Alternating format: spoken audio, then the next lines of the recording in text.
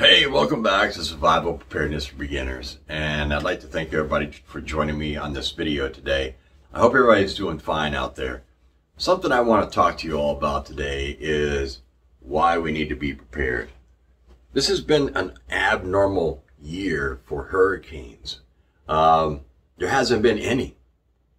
And this hasn't happened in, I think they said like 30 years. So we don't need to let our guard down. We don't want need to make, you know, make ourselves think that everything is okay and that, you know, we're going to be fine.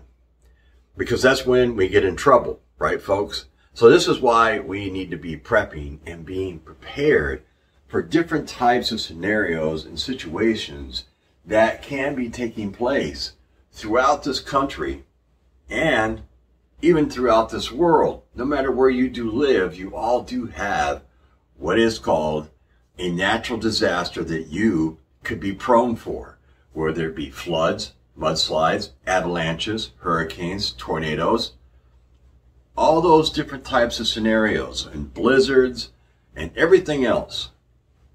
So what do we have to do?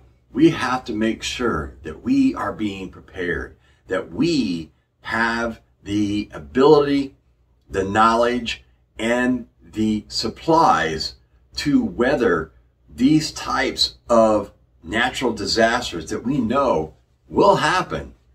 It's just a matter of when.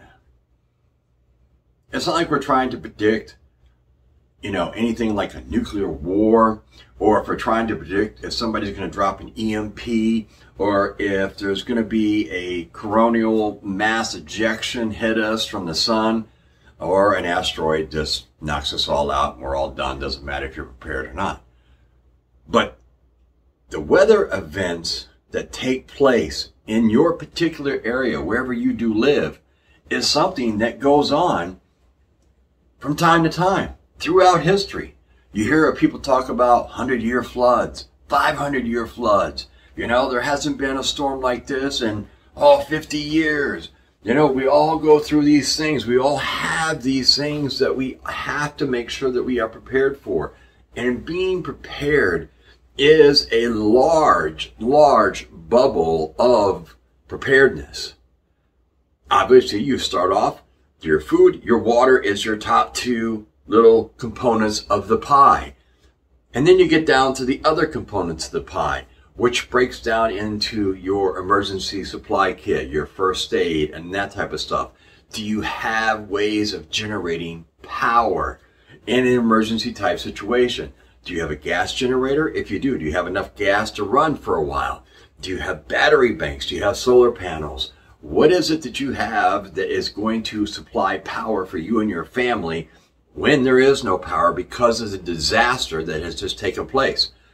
What happens if one of your family members or something are on some type of a medical equipment and it has to be powered for those people to sustain life. You have to really think outside the box. Maybe some of those pieces of equipment have a small battery bank built into them where they'll run for so long. But what do you do then? See, these are all the questions that you really have to ask yourself so that you can be prepared in a very timely manner because folks, this is what you are going to have to do to weather these massive storms that roll in.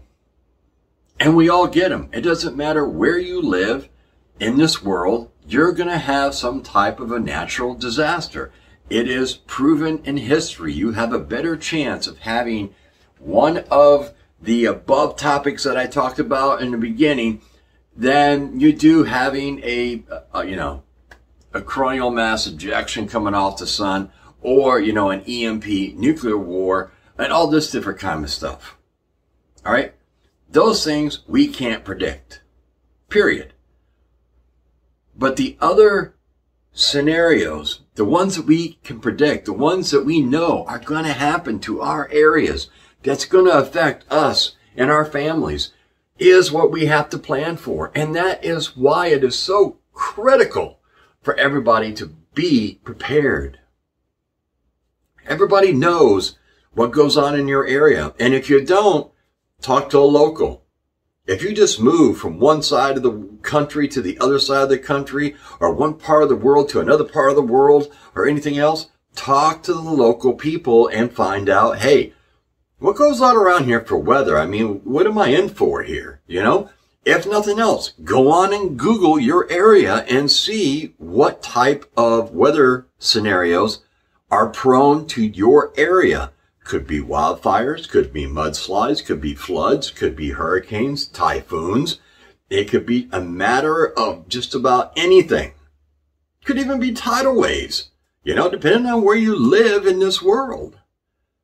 The point of this video is being prepared for a natural disaster that you know that's going to affect you.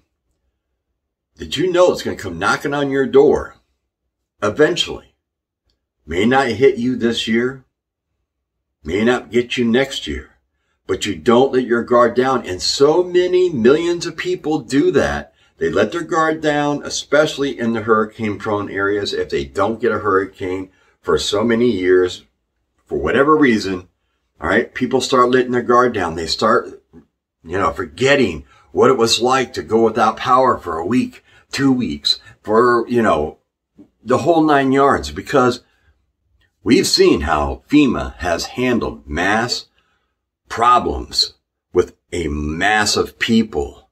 They can't do it. So if it's a hurricane or something hits your area and it affects millions of people in your area because those things can be big and it, you don't have to take the eye to have power outs and trees down, no electricity, no running water and none of these type of things. And those things can hit anywhere from Texas all the way to the Northeast. It covers a large area of this country. You're talking the whole Gulf Coast and the whole East Coast.